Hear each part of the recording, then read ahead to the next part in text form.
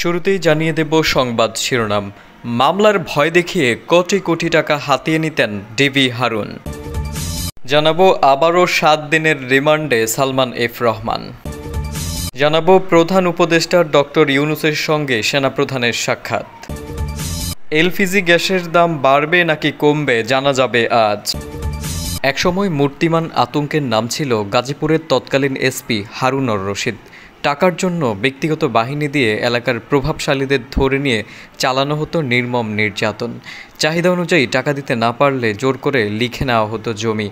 অনেকে কিস্তিতে টাকা দিয়ে বাঁচিয়েছেন জীবন। হারুনের এসব কাজে সহযোগিতা করতেন গুলিতে নিহত বনখ্যাক মুছি জসিম। হারুনের নির্দেশে মুচি জসিম ডিবি পুলিশ দিয়ে এলাকার প্রভাবশালীদের গ্রেপ্তার করে চোখ বেঁধে নির্যাতন চালিয়ে বিপুল টাকা দাবি করতেন। দিতে না পারলে সারা রাত নির্যাতন চালিয়ে ভোর রাতে নিয়ে যাওয়া হতো ডিবি হারুনের গাজীপুর কার্যালয়ে। সেখানে দ্বিতীয় দফায় চালানো হতো নির্যাতন। উপায় না পেয়ে জীবন বাঁচাতে ভুক্তভোগীরা গরু, ছাগল পরিবারের সদস্যদের স্বর্ণালঙ্কার বিক্রি করে তাদের টাকা দিতেন। টাকা দিতে না পারলে জীবন জমি লিখে নিতেন হারুনের লোকজন। নির্যাতনের বর্ণনা দিতে গিয়ে কালিয়াকৈয়ের উপজেলার অনেক ব্যবসায়ী কান্নায় ভেঙে পড়েন। ওই সময় কেউ ভয়ে হারুনের বিরুদ্ধে মুখ খুলতে সাহস না পেলেও বর্তমানে অনেকেই মুখ খুলছেন। ক্ষতিগ্রস্ত অনেকে তাদের টাকা ও জমি ফেরত পেতে সংবাদ সম্মেলন করছেন।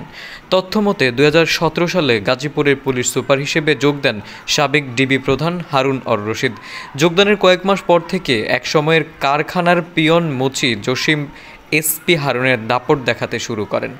এসপি হারুনের নাম ভাঙিয়ে এলাকায় শুরু হয় তার আধিপত্য। হারুনের নির্দেশে গড়ে তোলেন জসিম বাহিনী।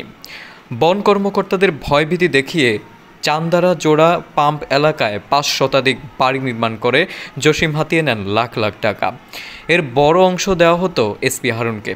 একসময় চান্দারা জোড়া পাম্প এলাকায় মুচি জসিমের আস্তানায় প্রতি রাতে হারুনের ডিবি পুলিশের হাজির হতো। ওই ডিবি পুলিশ ও জসিমের বাহিনী রাতে মাইক্রোবাস নিয়ে বের হয়ে উপজেলার বিভিন্ন এলাকায় ঘুরে টার্গেট করা ব্যক্তিকে ধরে মাইক্রোবাসে তুলে নিয়ে চোখ বেঁধে নির্যাতন চালিয়ে পরিবারের লোকজনকে ফোন করিয়ে টাকা নিয়ে আসার জন্য বলতো। ওই টাকার পরিমাণ থাকতো পঞ্চাশ থেকে এক কোটি। এসব করা এত হারুনের সঙ্গে যোগ সাজেশ। চাহিদা মাত্র, চাহিদা মতো টাকা দিতে না পারলে চলতো নির্যাতন। এদিকে সাবেক প্রধানমন্ত্রী শেখ হাসিনার বেসরকারি শিল্প বিষয়ক উপদেষ্টা সালমান এফ রহমানকে পৃথক দুই মামলায় ফের সাত দিনের রিমান্ড দিয়েছেন আদালত।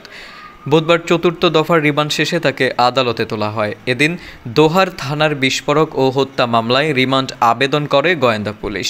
আদালত রিমান্ড শুনানি শেষে বাবগঞ্জ থানার বিস্ফোরক মামলায় চার দিন ও দোহার থানার হত্যা মামলায় তিন দিনের রিমান্ড মঞ্জুর করেন। আজকের রিমান্ড মিলিয়ে সর্বমোট পঞ্চম দফায় রিমান্ডে নেওয়া হলো প্রধানমন্ত্রী শেখ হাসিনার সাবেক এই উপদেষ্টাকে। এর আগে গত তেরো আগস্ট নৌপথে পালিয়ে যাওয়ার সময় সদরঘাট এলাকা থেকে গ্রেপ্তার হন সালমান এফ রহমান। এদিকে অন্তর্বর্তী সরকারের প্রধান উপদেষ্টা অধ্যাপক মোহাম্মদ ইউনুসের সঙ্গে সাক্ষাৎ করেছেন সেনাপ্রধান জেনারেল ওয়াকার উজ্জামান মঙ্গলবার তিনি প্রধান উপদেষ্টার সঙ্গে সাক্ষাৎ করেন। প্রধান উপদেষ্টার ফ্রেস উইং জানায়, রাষ্ট্রীয় অতিথি ভবন যমুনায় প্রধান উপদেষ্টা অধ্যাপক মোহাম্মদ ইউনুসের সঙ্গে সেনাবাহিনীর প্রধান জেনারেল ওয়াকার উজ্জামান সাক্ষাৎ করেন। এ সময় দেশের বিভিন্ন পরিস্থিতি নিয়ে তাদের মধ্যে আলোচনা হয়। জানানো হবে খুব শীঘ্রই নির্বাচনের তারিখ।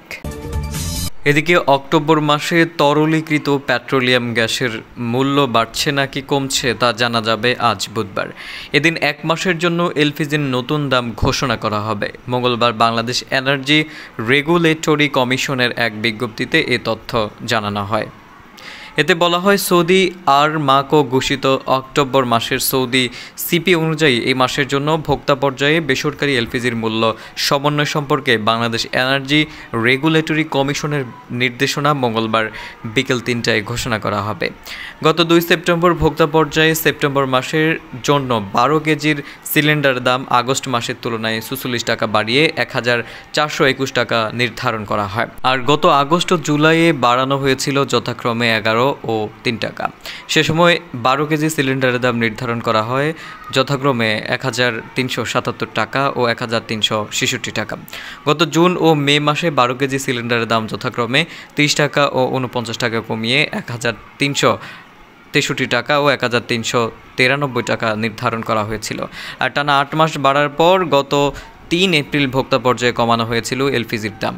মার্চ মাসের তুলনায় এপ্রিল মাসে বারো কেজি সিলিন্ডারের দাম চল্লিশ টাকা কমিয়ে এক হাজার চারশো বিয়াল্লিশ টাকা নির্ধারণ করা হয়।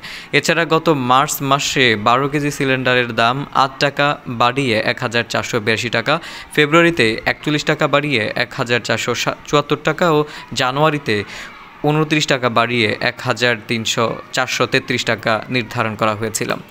দু হাজার তেইশ সালের পাঁচ দফা কমিয়েছিল এলপিজি ও অটো গ্যাসের দাম, আর বেড়েছে সাত দফা। গত বছরের জানুয়ারি, মার্চ, এপ্রিল, জুন ও জুলাই মাসে কমেছিল এলপিজি ও অটো গ্যাসের দাম।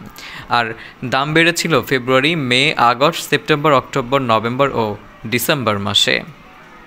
প্রিয় দর্শক, এই ছিল এখনকার পর্যন্ত। পরবর্তী সংবাদ পেতে আমাদের চ্যানেলটি সাবস্ক্রাইব করে পাশে থাকা বেল আইকনটি বাজিয়ে দিন এবং আপনি কোন জায়গা থেকে আমাদের সংবাদটি শুনছেন এবং দেখছেন জানিয়ে দিন কমেন্ট বক্সে।